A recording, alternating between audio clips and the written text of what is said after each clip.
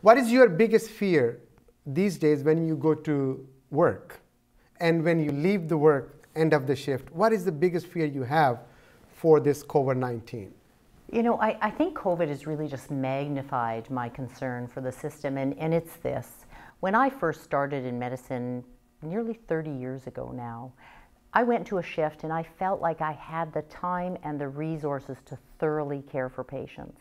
When I walk into the emergency department now, I know that I am going to have to do the minimum in some cases just to keep up with the volume.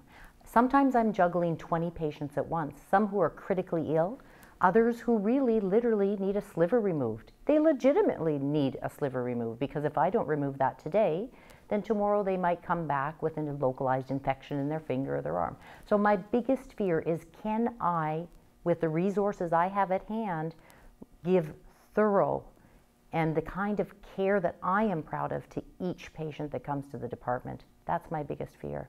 But you know, if I may take the liberty, I, I want to build on something that Deb was talking about, and that's that's the isolation maybe that we as healthcare workers feel. Mm-hmm.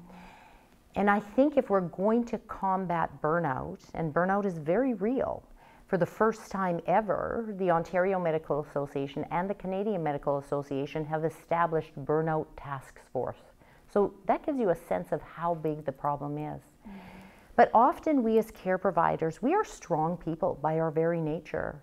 And we have only become stronger working in this system and, and you know, rising to the challenges that have been put before us day in, day out. So we are strong.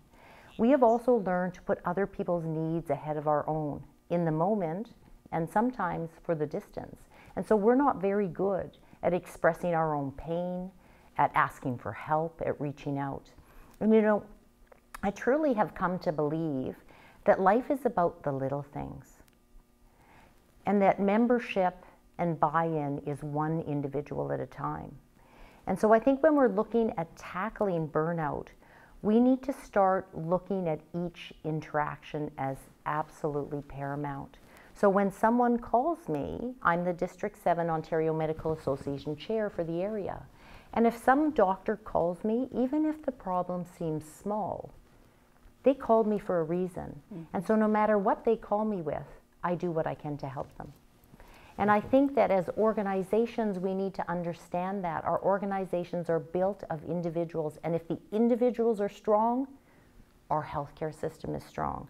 So we've come to an era where administrators need to follow what I came to learn as the first principle of good healthcare leadership, and that's above all, value your human resource. And many other things will fall in place thereafter. So that's what we need to do. We need to value one another every step of the way as best we can.